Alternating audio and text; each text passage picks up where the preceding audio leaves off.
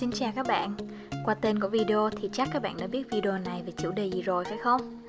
Trên tay Chloe hiện nay là 4 thỏi son của Christian Louboutin với tổng cộng 38 màu son. Son của Louboutin chia ra 3 dòng khác nhau Silky Satin, Velvet Matte và Sheer Voile với giá thành cao muốn xỉu ở 90 đô cho một thỏi son. Mới nhìn vào thôi thì đã thấy son của Louboutin được chăm chút rất kỹ, rất đẹp và sang ở khoảng bao bì rồi. Chloe đã sở hữu 4 thỏi son của hãng này thuộc 3 dòng khác nhau.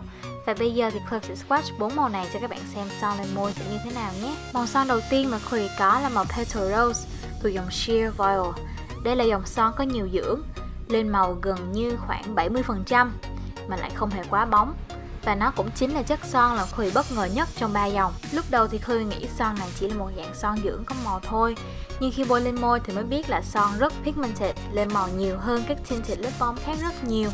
Đã vậy còn mềm mượt y như bơ. Đây sẽ là một sự lựa chọn hoàn hảo cho những bạn nào thích trang điểm nhẹ nhàng, tự nhiên. Tuy vậy nhưng cũng vì có nhiều dưỡng hơn, nên dòng sheer này sẽ không bám màu lâu và dễ trôi khi ăn uống hơn hai dòng còn lại. Các bạn lưu ý nhé. Delican Noodle là một màu cam nude thuộc dòng Silky Satin. Silky Satin còn có thể được hiểu đơn giản là chất son truyền thống mà chúng mình vẫn dùng từ xưa đến giờ, trước khi cơn sốt son lại lên cao như hiện nay. Dòng Satin của Louboutin thì màu lên môi cũng rất chuẩn mà lại không làm khô môi và cũng không hề quá bóng như nhiều bạn nghĩ.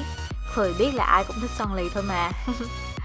Nói một chút về hãng thì Christian Louboutin là hãng giày đế đỏ nổi tiếng ở Paris, không chuyên là mỹ phẩm đâu Lúc trước thì hãng đã cho ra mắt dòng sơn móng tay high-end rồi. Và tháng 9 năm 2015 thì Christian Louboutin đã ra thêm dòng lipstick và lip liner vào mảng làm đẹp của mình.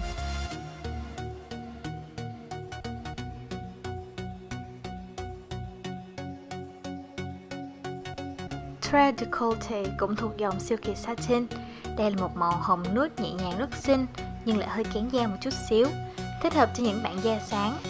Nhân tiện thì Khuê cũng muốn nói đến một câu hỏi khá là quan trọng cho một thỏi son đắt đỏ này Đó chính là son này có đáng giá 90 đô hay không? Mặc dù Khuê rất thích son này và thật sự cũng không tìm được điểm nào để chê Nhưng Khuê nghĩ rằng bạn không cần thiết phải bỏ ra một số tiền khá lớn cho một thỏi son đâu còn nếu bạn là một người nghiện son và mỹ phẩm thì hãy cứ tự thưởng cho bản thân một thỏi đi Chắc chắn sẽ không hối hận đâu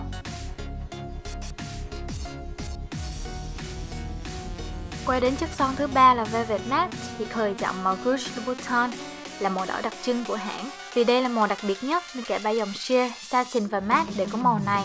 Và vỏ son thì lại là màu đen chứ không phải là màu vàng như các màu còn lại. Đặc biệt đối với màu này của dòng này thì liên tục bán hết sạch ở mọi nơi nên Khơi cũng đã rất khó khăn để mua được nó. Về chất son thì Velvet Matte cũng chẳng có điểm nào để chê luôn. Mặc dù là lì hoàn toàn nhưng lại không làm khô môi và cũng không làm lộ rõ các đường vân môi.